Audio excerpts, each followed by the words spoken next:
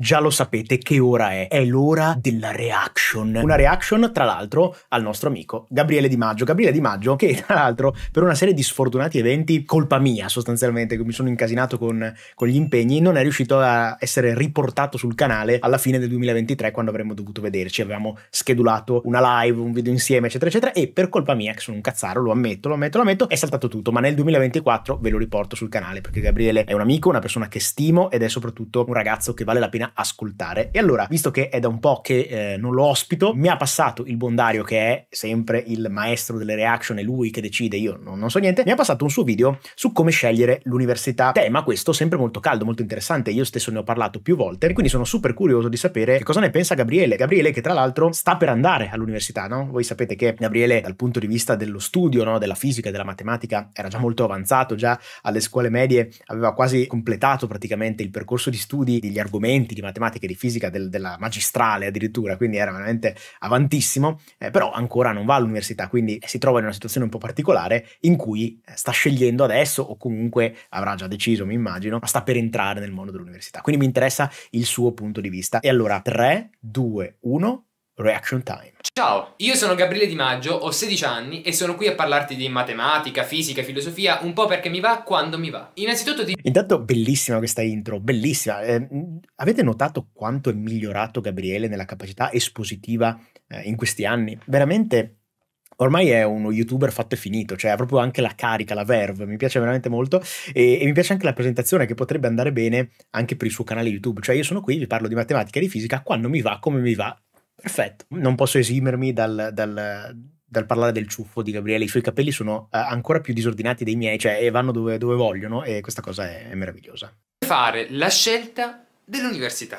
Naturalmente non posso che parlarvi di cosa? Delle università e delle facoltà che principalmente prediligo io. Quindi matematica, no, Questo è molto interessante. Ecco, questo è un punto di vista interessante. Io non sapevo che il video sarebbe andato in questa direzione, ma dopo aver sentito questa frase mi interessa tre volte tanto rispetto a quanto sono in, uh, quando sono partito. Perché eh, evidentemente quello che Gabriele farà non sarà dare dei consigli generalisti, come quelli che ho potuto dare io, per esempio, ma dei consigli specifici per i tipi di facoltà che lui ha preso in considerazione, prende in considerazione facoltà del mondo STEM, ma all'interno del mondo STEM mh, più orientate verso proprio science and mathematics, quindi SM, eh, mentre invece eh, lui magari non prende tanto in considerazione l'aspetto di tecnologia, di ingegneria e di informatica, no? non è il suo, a lui interessa più l'aspetto scientifico e matematico fisica e potrei dirvi qualcosina su qualche ingegneria anche se quel lato non lo conosco troppo bene. Però un attimino bisogna precisare cosa realmente intenda ora con questa domanda. Perché questo video può essere visto come un corollario all'altro mio video pubblicato qualche giorno fa sullo studio da autodidatta. Okay. Perché purtroppo vuoi o non vuoi, a volte succede che una volta fatto uno studio preliminare appunto da mh, mm, liceale e così via, prima di entrare all'università, poi arrivi il momento dell'entrare all'università. E purtroppo alcuni sono costretti a fare questa scelta da soli o mal consigliati e quindi mal accompagnati, diciamo. Sarebbe preferibile e questo è quello che è successo a me, per esempio, non perché eh, ci fosse colpa di qualcuno, eh, ma perché, anzi, i miei genitori, figuriamoci, erano stati super disponibili, eccetera, ma perché io ero testardo come un mulo. E quindi quando ho deciso che volevo fare lettere, non ho chiesto a nessuno un parere, non ho chiesto a nessuno un aiuto, ho detto io faccio questo, basta perché ero così, a 18 anni ero veramente un, cioè un carro armato, quello che voglio lo voglio, basta, non mi rompete le balle. E poi sappiamo com'è andata, nel senso che eh, non che io abbia niente contro la facoltà di lettere, ma sapete che è stata una scelta eh, su cui poi io non sono stato soddisfatto, che tornando indietro avrei, avrei cambiato, no? avrei, mi sarebbe piaciuto molto di più studiare psicologia per esempio, ma l'ho scoperto più avanti farvi consigliare da qualcuno che sia del settore. E ora arriva la fatidica questione. Io di fatto non sono del settore, semplicemente sono qui a esporvi un attimino le mie considerazioni che ho fatto lungo questi anni conoscendo tantissima gente che del settore è. Molte volte tra amici o tra conoscenti o dicerie che sento, insomma, molte volte ascolto di gente che dice mm, facciamo medicina, facciamo giurisprudenza, faccio giurisprudenza perché ho il padre avvocato, faccio medicina perché la fanno tutti, bellissimo non è una brutta considerazione fare giurisprudenza se hai il padre con lo studio da avvocati, eh? però degli scherzi, ovviamente la considerazione lavorativa non è eh, l'unica considerazione che si deve fare quando si sceglie l'università, però sicuramente è una considerazione, quindi avere uno studio da avvocati, eh, come dire, già avviato, comunque non è, una, non è una cosa da non prendere in considerazione. Fare medicina perché lo fanno tutti, quello invece ovviamente è un disastro. Così ho lavoro assicurato, soldi assicurati e va tutto molto bene. Ma non solo è perché magari eh, sono le università mainstream in un certo senso, quando parlo di università subito viene in mente medicina, giurisprudenza, ora mm. cominciano a nascere delle università anche particolari che stanno riscuotendo molto successo. Alcune branche di ingegneria, diciamo. Ma a volte questo succede anche con, per esempio, prendo fisica, ecco appunto il mio campo, diciamo quello che conosco un po' meglio. Prendo fisica perché mi piace il cielo, l'astrofisica, le stelle e voglio fare l'astronomo da grande. Ma magari il background da cui vieni è aver letto un libro pop-up appunto sulle galassie. Le... Ah, qua, qua Gabriele picchia duro, eh, il libro pop-up. Cazzo. Scusa, scusa, Gabriele, scusa. Università di fisica e di matematica, quelle di cui voglio parlare principalmente in questo video, sono università molto toste. E non sto dicendo se vi piace la fisica ma non l'avete... Avevo fatto anche un video su ma fisica è davvero così difficile? Assolutamente, andatevelo a recuperare perché ha ragione, chiaramente. Mai vista, non scegliete questo percorso. Sto dicendo, se vi piace la fisica ma non l'avete mai vista nel dettaglio, prima di intraprendere un tal percorso, appunto Guardatela un attimo. Non... Questo è il consiglio numero uno quando si tratta di scelta universitaria. Vale per matematica, vale per fisica, vale per ingegneria, ma vale anche per giurisprudenza, per lettere, per psicologia, per scienze delle comunicazioni, vale per tutto. Eh, e questo è l'errore clamoroso che io feci quando fu il mio momento di scegliere la facoltà. Ho scelto lettere non perché ero andato a vedere che cosa si facesse a lettere o perché sapessi che cosa si faceva a lettere, ma per un'idea che io mi ero, mi ero formato di che cosa avrebbe rappresentato lettere per me. L'ho raccontato tante volte. Io mi sono iscritto a lettere perché volevo nella vita eh, scrivere scrivere, io volevo diventare uno scrittore o un giornalista. Quando avevo 18 anni le due cose per me erano un po', un po sfumate l'una dell'altra. Mi, mi, piaceva scrivere, questo eh, mi è sempre piaciuto, sentivo di essere portato per farlo e quindi volevo fare quello. Nella mia mente lettera era la facoltà in cui studiando gli autori del passato e studiando la, la modernità nella scrittura sarei diventato un grande scrittore, un grande giornalista.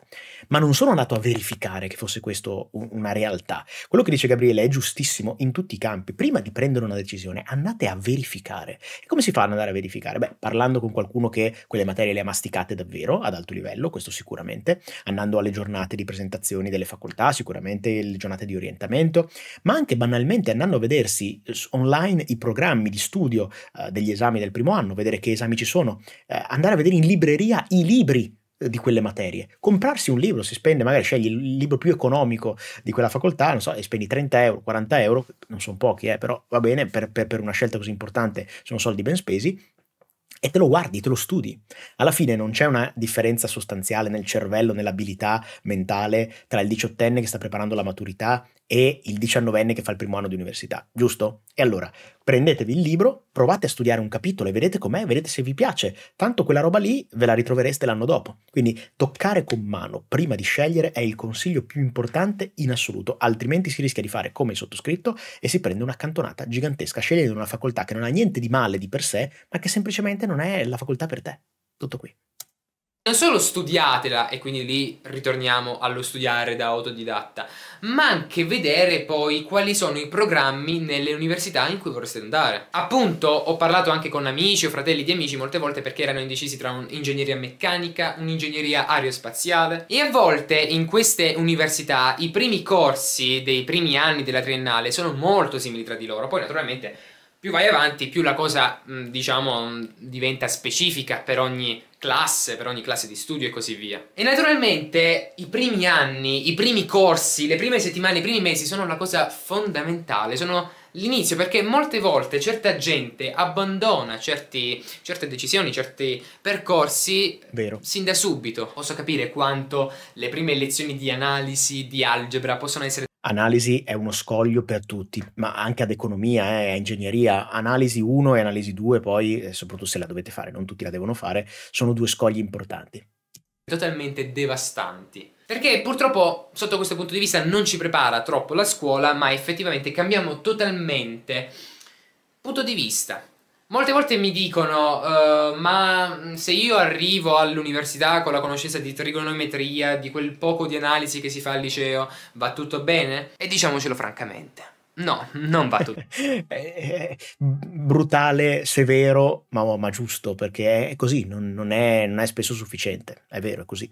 Tutto bene. La matematica in analisi che vedrete appunto all'università sarà molto, ma molto diversa. Alcuni rimangono totalmente scioccati da le ovvietà che si dimostrano ad analisi, appunto. Ma eh, il fatto che siano ovvietà, il fatto che non si dà niente per scontato, appunto, questa cosa confonde ancora di più. E non c'è solo analisi, non c'è solo analisi, c'è algebra. Algebra è ancora peggio, perché in un certo senso non l'hai mai vista. Grazie Gabriele per metterci a nostro agio, così siamo molto più rilassati adesso nel voler scegliere fisica o matematica. Mm, che meraviglia, non c'è solo analisi, c'è pure algebra cattivissima che vi aspetta, vi attende. in quel modo. Quindi, innanzitutto, non prendete le classiche università perché fa figo prenderle, perché le prendono Beh, tutti giusto, e così giusto. via. Poi, per carità, a volte certe convinzioni così, così grandi, certe anche purtroppo, che posso dire, raccomandazioni, perché in questo mondo ce ne sono tantissime di raccomandazioni, corruzione e così via, sono a volte purtroppo più forti della passione stessa, nel senso pratico, nel senso che appunto riescono comunque a far laureare lo stesso quella persona che ha zero inventiva, che ha zero passione, che lo trascina a fare quello che sta facendo. E secondo punto, non fate fisica o matematica perché matematica vi piacciono gli studi di funzione o fisica perché vi piacciono le stelle o vi piace, che so, quello che avete visto poco poco al liceo. Perché se già matematica appunto... Ho guardato Big Bang Theory troppo a lungo, come ho fatto io è molto diversa, fisica lo è ancora di più all'università. Però sotto questo punto di vista, se capirete bene gli strumenti dell'analisi, fisica forse sembrerà più semplice. Perché tutte per esempio le leggi orarie su cui abbiamo speso mesi e mesi, a volte anche un anno di tempo per vederle, te le ricavi con uno schiocco di dita. Basta mettere... Lui le ricava con uno schiocco di dita, io no di sicuro qualche derivata, qualche integrale e la questione sulle leggi orarie finisce lì. Poi però ci aggiungi altro, mm, diciamo, materiale, molto altro materiale, molto più figo, anche molto più matematicoso ed è buono che sia così. Però appunto una persona che va lì perché vuole fare fisica nucleare, perché sente parlare delle bombe nucleari, sente parlare delle centrali nucleari e così via, o perché sente parlare dell'astrofisica e vuole diventare astronomo, e va lì e si vede questi primi corsi che non c'entrano totalmente niente e i primi corsi reali probabilmente li vedrà al terzo anno, ecco diciamo che potrebbe appunto essere indotto ad abbandonare. Quindi appunto potrebbe sembrare scontato, ma ragazzi per favore fatevi una vostra cultura di base generale prima di eh, realmente... Non è scontato per niente Gabri, è un ottimo consiglio quello che hai dato, lo sottoscrivo in pieno. Non dico neanche una cultura eh, tale per prepararsi agli esami di ammissione, perché anche lì i test di ammissione sono a volte dipende dai talk, dipende dalle università, ma sono naturalmente dei, dei, test in cui c'è cultura generale, anche comprensione del testo, logica, matematica e fisica di massimo, credo, terzo, quarto anno di liceo, che è tecnicamente scientifico, ma neanche problemi poi che sia troppo complicati, diciamo. A volte in quei problemi quello che può fregarvi sono realmente ciò che non c'entra niente magari con quello che andrete a fare, tipo logica o cultura generale o comprensione del testo. Quindi non dico semplicemente preparatevi per i test di ammissione per la compressione del testo eh, la tecnica di lettura efficace funziona alla grande, quindi leggere per sapere, scaricatelo nel dubbio. Eh. Quello è ovvio, dico proprio, vedete un attimo quello che andrete a fare, capite che avrete una forma menti su un programma molto ordinato che però costerà anche tanta, tanta pazienza, quindi anche tanto tempo. È ovvio che tutti arriviamo a fisica per, oh che bello vedere la meccanica quantistica, vedere le particelle che si muovono, fisica nucleare, le cose che scoppiano, bellissimo, però bisogna un attimo partire dalle cose un attimo più più ordinarie e anche forse viste in un modo più rigoroso, quindi più complicate. Ed è da lì che capirete realmente se siete fatti per questo percorso. Ed essere fatto per questo percorso, appunto, non vuol dire essere geni, ma appunto vedere che la passione ti scaturisce anche da questo. Senza passione non farete niente all'università, eh, a maggior ragione se la facoltà è difficile. Non scegliete delle facoltà difficili eh, come appunto matematica, fisica, ingegneria, medicina, giurisprudenza, ma anche economia, psicologia, eccetera. Non le scegliete se non vi piace davvero. E per sapere se vi piace davvero quello che dicevamo prima, informarsi, perché se non vi piace davvero, se non avete della passione, che non vuol dire eh, che tutti gli esami vi piacciono, Assolutamente, in ogni percorso universitario ci saranno esami che vi rompono le balle, esami che non vi piacciono, esami che considerate inutili, esami col professore o la professoressa che, che odiate, quello è la base, è normale, ma che la direzione vi piaccia, ok? Che vi piaccia l'argomento, ok? Se non è così, se non c'è una passione di, di fondo, le università non si finiscono. Eh, si rimane bloccati in fuori corso, come ho fatto io, si finisce a, veramente a fatica, è un percorso bruttissimo. Questi argomenti cioè da analisi, algebra e così via. E quindi poi soprattutto non lasciatevi influenzare dal consiglio di chi sì vi vuole bene, quindi vuole il meglio per voi, ma comunque non sa niente di quest'ambito. Dovete informarvi Giusto. da chi le cose le sa per bene, da chi magari ha studiato nell'università sì. in cui volete andare, da chi comunque ha studiato la facoltà che volete studiare anche voi e così via. In questo aiuta un sacco internet, aiuta per esempio il mio gruppo Telegram dove siamo mille persone belle coese perché voi cliccate il link, entrate e c'è una mia mi piace, mi piace che il buon Gabri è diventato anche un po' marchettaro. Eh, c- bene, bravo Gabri, lo, lo, stiamo plasmando, sta diventando... Voi nel dubbio, prima di iscrivervi al gruppo Telegram eh, di Gabriele, eh, iscrivetevi a Sistema DC, no? C'è sia la versione per la scuola superiore sia quella per l'università, iscrivetevi perché è un corso sul metodo di studio che vi stravolge completamente eh, la vita di studio, eh, sia universitaria che scolastica, a prescindere poi da quale scelta di facoltà prenderete. Quindi nel dubbio entrate in Sistema DC e poi anche nel canale Telegram di, di Gabri, che ci sta riad di gente esperta, ma davvero, abbiamo tantissima gente, gente che si è laureata alla normale di Pisa, gente che ha lavorato al CERN, quindi entrate e per qualunque dubbio, non solo appunto poi sulla vostra formazione scolastica, universitaria, ma anche oltre per delle domande proprio sulle questioni e così via, potete consultarci su questo gruppo. Io proprio vi chiedo di non prendere mai sotto gamba queste cose, proprio odio la gente che quasi con una nonchalance così bella nel shield più totale, sceglie l'università quasi a caso, tirando a dadi. C'è gente che poi per esempio non apprezza tanto la teoria di fisica che c'è dietro, per esempio e così via, lì eh, sono appunto gusti, però magari gli piacciono lo stesso le materie scientifiche sotto altri punti di vista. Non è detto che dobbiate tutti eh, subirvi questi corsi così pesanti e rigorosi di matematica logica, assolutamente no. Potete per esempio appunto prendere altri percorsi, intraprendere, studiare, altre facoltà e così via. Come per esempio ingegneria. Ingegneria è un giustissimo compromesso che tantissime persone prendono appunto.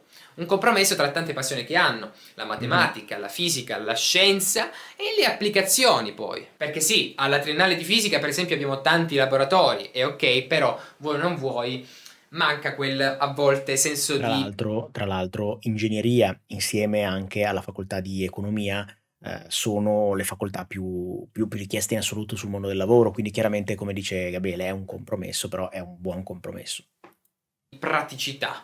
Poi dipende naturalmente dai corsi, dalle università e dai professori e tutto anche lì, ora ci arriviamo come ultimo punto, però comunque rispetto a un'ingegneria che so meccanica magari o aerospaziale, ecco l'ingegneria aerospaziale è una di quelle che a me personalmente attira davvero tanto. Quando per esempio si dice quale sia l'università più complicata, ragazzi questi discorsi sono troppo intricati, troppo a volte anche no sense eh, perché mancano le definizioni di base, che vuol dire complicato. Una lo può essere in un senso, l'altra in un altro senso. Ne abbiamo, ne abbiamo, parlato molte volte, ci sono facoltà che sono difficili per la mole di studio, come giurisprudenza e medicina, ci sono facoltà che sono difficili per la complessità intrinseca degli argomenti, come fisica e matematica, ci sono dif- mh, facoltà in cui c'è un mix delle due, come ingegneria, quindi assolutamente eh, ha ragione, non si può definire qual è la facoltà più difficile. Noi gi- giochiamo, io spesso gioco su questa cosa, qual è la più difficile, qual è... ma in realtà il messaggio finale è sempre che ci sono modi diversi di essere facili o difficili.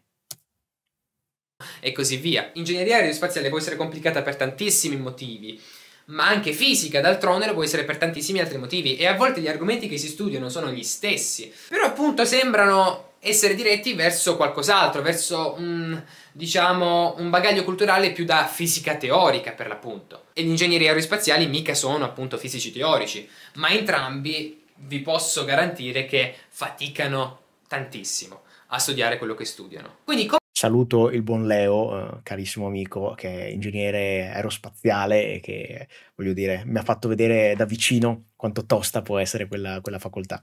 Come fate a capire se a voi piace più la teoria della fisica o magari sia la teoria che l'applicabilità o più la matematica addirittura e così via, appunto dovete informarvi bene innanzitutto sui programmi che sono previsti dalle facoltà su tutti i corsi, anche a lungo termine, anche quelli che farete al terzo, anche se ancora non avete fatto il test di ammissione. Sì. E poi, piano piano, cominciare a vedere le cose che farete ai primi corsi. Quindi mhm. capite, mm-hmm. quando si parla di queste cose è sempre un compromesso. Buttatevi sì, ma non troppo approfondite. Prima capite bene, capite se vi piace, sentite più pareri e così via. Quindi voi potreste fare, per esempio, quella determinata facoltà, ma poi dove la faccio? Perché dipende anche molto dai professori un professore può cambiare un intero corso, ragazzi? Eh? Assolutamente sì. E questo, sì, dipende molto dai pareri altrui, ma non da quelli dei vostri genitori per carità, se poi i vostri genitori sono professori universitari o hanno studiato lo stesso che volete fare voi o hanno studiato dove volete andare voi, sì, ma se invece non ne sanno niente di questo mondo,